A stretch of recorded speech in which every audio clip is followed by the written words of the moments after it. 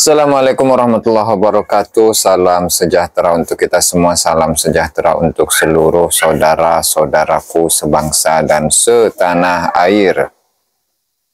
Di mana pun Anda berada, Alhamdulillah dalam kesempatan yang berbahagia ini kita masih bisa bersama-sama bersilaturahmi. Dan pada kesempatan kali ini saya akan apa namanya mengulas uh, hasil DNA dari seorang Habib yang ada di Indonesia yang beberapa waktu lalu telah melakukan tes DNA dan sudah keluar hasilnya. Dan sudah bisa diprediksi bahwa hasilnya itu adalah haplogrupnya adalah G M201 ya di family tree. Mm -hmm. Jadi haplogrup haplogrup itu apa sih? Yang menunjukkan asal usul asal usul sebuah bangsa. Artinya seseorang itu ketika uh, dia tes DNA, kemudian dia itu keluar hasilnya dan haplogrupnya itu misalkan oh ya maka dia itu asalnya adalah dari Asia Tenggara gitu kurang lebihnya ya. Nah begitu juga dengan G, G itu pun juga sama. Dikelompokkan dalam apa namanya bangsa atau kebangsaannya itu adalah dari Askenazi. Itu ya atau Kaukasia. Dan sering kali juga saya angkat mengenai apa keterangan yang dituliskan oleh Khalil bin Ibrahim Ad-Dulaimi dalam kitabnya Muqaddimat fi Ansab bahwa DNA ini dapat menyingkap kepalsuan uh, dari orang-orang yang mengklaim bahwa dirinya itu bersambung nasabnya kepada Rasulullah Shallallahu Alaihi Wasallam melalui jalur maternal ya, jalur laki-laki. Dan juga sudah kita uh, simak, kita ketahui bersama-sama ada sebuah klaim bahwa Balawi itu adalah uh, sekelompok orang atau segolongan orang yang memiliki catatan yang paling rapih sedunia. Dan itu ada beritanya itu. Di nanti akan saya tampilkan itu bahwa di uh, apa namanya ketika ada kunjungan salah satu ulama ke Robitoh Alawiyah jadi ulama tersebut itu memuji bahwasanya Robitoh Alawiyah itu adalah pencatat nasab yang paling rapi sedunia. Luar biasa.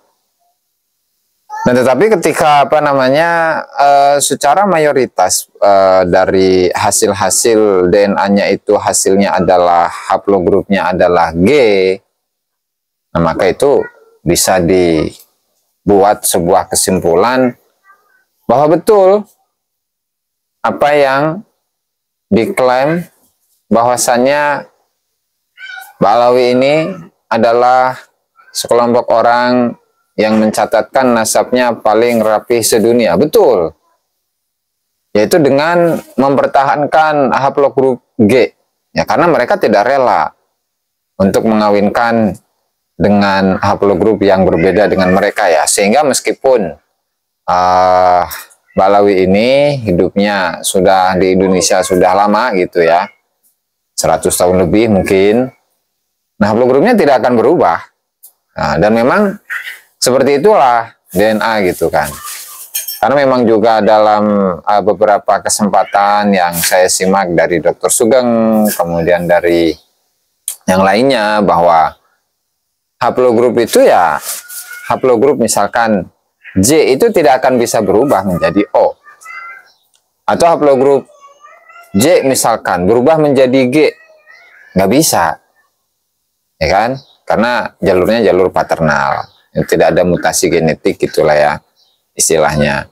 Dan di dalam buku ini pun juga diberi contoh bahwasanya ketika seseorang itu memiliki uh, leluhur dari orang Afrika, kemudian dari Afrika ini uh, berhijrah ke Arab misalkan, kemudian dia beranak pinak di Arab terus sampai sekian ratus tahun. Maka ketika diuji DNA, dites DNA, maka hasilnya itu tetap dia adalah memiliki asal-usul dari orang Afrika.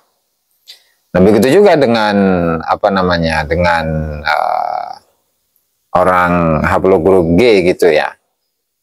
Yang haplogrup kembali kepada Kaukasus ya atau Kaukasia. Itu pun juga sama. Sekian ratus tahun kemudian atau seribu tahun kemudian bahkan beribu-ribu tahun kemudian itu haplogrupnya tidak akan berubah. Menjadi J gitu dari G menjadi J atau dari J menjadi G gitu. Nggak bisa.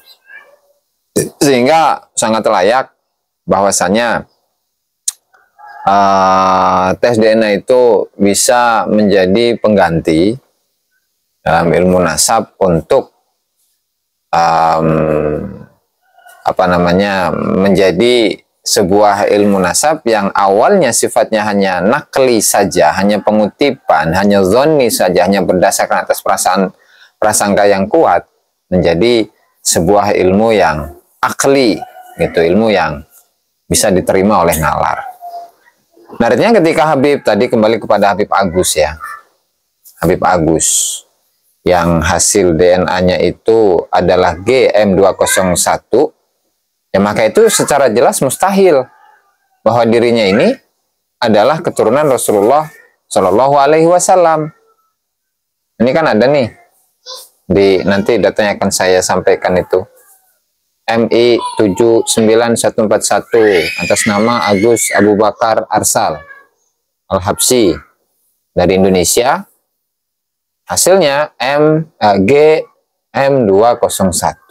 Ya udah kan, selesai. Hmm. Lalu kemudian bagaimana? Nah ini ini keterangan yang yang um, perlu lagi saya ulas saya rasa. Perlu lagi saya ulas bahwa memang ada nilai-nilai positif atau poin-poin positif mengenai DNA gitu ya.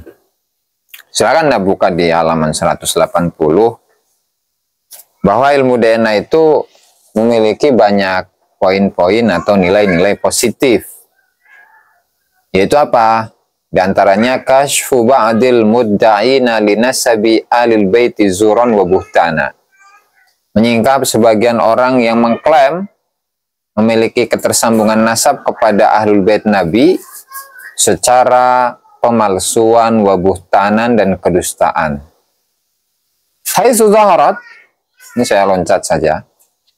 Sekiranya muncul nata'iju li ba'dihim ala sulalatin farisiyah, beberapa banyak hasil uh, DNA mereka, sebagian dari mereka itu munculnya adalah keturunan-keturunan Persia wa Kaukasia atau keturunan-keturunan Kaukasus laisa hadza bimustaghrabin dan tidaklah ini merupakan sebuah hal yang aneh. Sehingga apa?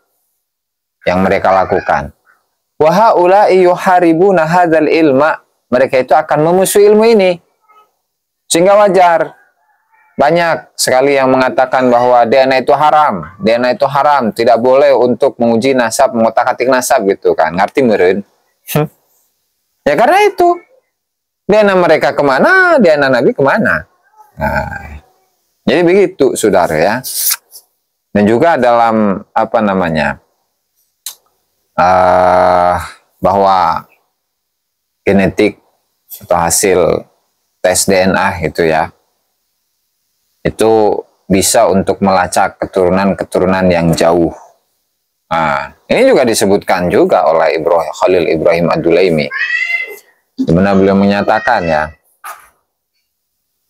anna nata'ij sulalatil janiyah atau ma yusamma bitahawuril bahwa hasil-hasil dari tes DNA atau dengan kajian atau yang dinamakan dengan kajian genetik hiya nata'iju qat'iyatun ilmiyan. Secara ilmiah hasil-hasil genetik itu merupakan hasil-hasil yang pasti. Qat'i pasti. Nah, illa idza kana hunaka khata' fil fas kecuali memang ada kesalahan dalam dalam apa namanya pengujian.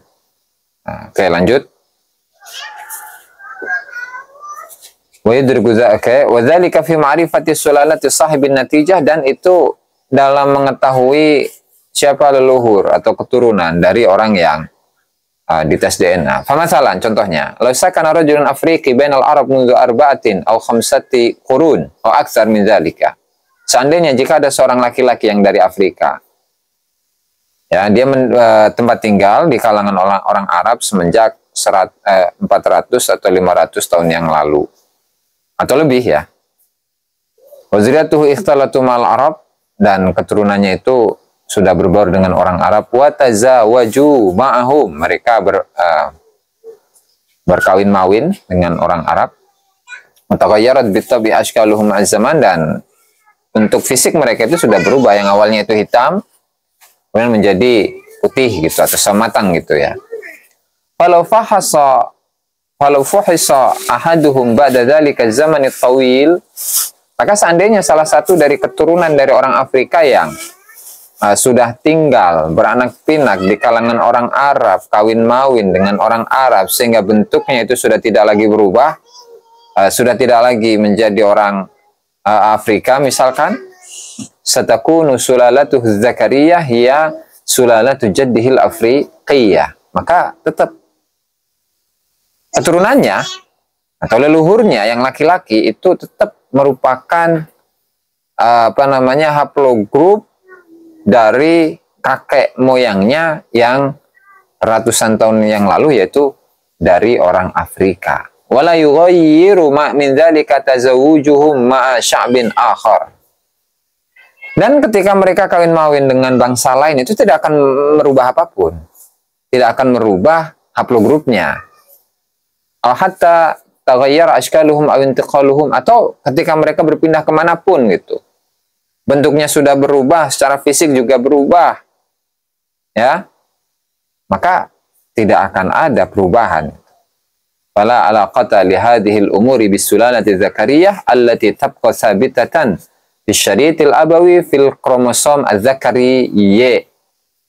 Maka perpindahan, kawin mawin dengan siapa pun, itu kan secara fisik, secara fisik bentuknya sudah tidak tidak sama lagi dengan leluhurnya, kemudian berpindah dari satu tempat ke tempat lain, satu negara ke negara yang lain, maka itu tidak akan memberikan efek apa pun.